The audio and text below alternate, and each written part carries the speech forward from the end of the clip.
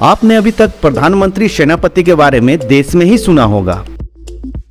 आइए, हम आपको एक ऐसे विद्यालय में लेके चलते हैं, जहाँ के बच्चे अपने स्कूल के सेनापति एवं प्रधानमंत्री होते हैं।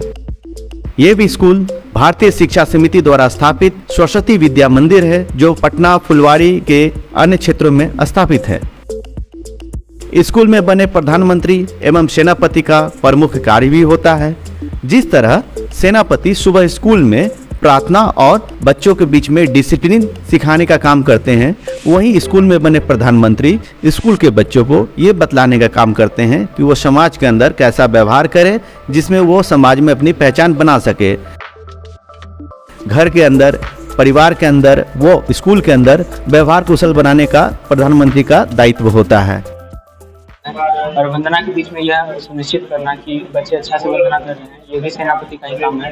तो इसे करने के लिए हम लोग इसे करने के लिए हम लोग सबसे पहले ये वंदना के सामने जहाँ पर होता है, वहाँ पर हम खड़ा होकर ये देखते हैं कि बच्चे बच्चे अच्छा से वंदना करने की नहीं पहले आगे में खड़ा होकर ये देखते हैं कि वंदना अच्छे से हो रहा है कि नहीं। और जब आदेश देने का पारी आता तो आदेश देते हैं। उसके बाद यस इन लोगों का अपना प्रतिदिन इसी हिसाब से काम चलता है और लोगों के बीच में ये लोग ये बतलाते हैं कि व्यवहार कुशलता कितनी ज़रूरी है। इस स्कूल में साल में एक बार जो कुशल पूर्वक नेतृत्व करते हैं उन्हें ही प्रधानमंत्री या फिर सेनापति के पद को सौंपा जाता है। जो सत्र 2023 24 अभी आरंभ हुआ है। इसमें इनकी नेतृत्व क्षमता का विकास कैसे हो?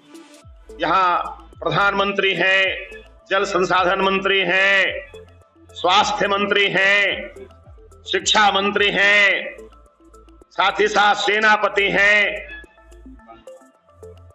विभिन्न जो और विभाग हैं, वंदना की, वंदना के प्रमुख हैं सह प्रमुख हैं। ऐसे सभी पदाधिकारी यहाँ उपस्थित हुए हैं। उनका दायित्व तो क्या है? उनका कर्तव्य क्या है? कैसे इसको वो सफल करेंगे? कौन कौन सी गतिविधि करेंगे? इसकी जानकारी इन्हें आज होने वाली है। अभी जानकारी इन्हें दी जा रही है। वंदना का काम जो करते हैं, उनके जिम्मे क्या क्या है? शून्य कालांश से लेकर के वंदना सभा के लिए जो 40 मिनट का समय निर्धारित है, उसका समायोजन कैसे करना, सेनापति का कार्य आज्ञा देना किन किन शब्दों का प्रयोग करना, कैसे, किस स्थिति में खड़ा होना। साथ ही साथ, सबके जिम्मे जो जो अपना विभाग मिला है, उस विभाग को कैसे समृद्ध कर सकते हैं। समय समय पर, महीने में, दो महीने पर, बाल संसद का आयोजन विद्यालय में होता है, जिसमें लोग अपने प्रश्न रखते हैं। जैसे एक भैया ने प्रश्न रखा कि हमारे विद्यालय में एक नल चूता रहता है।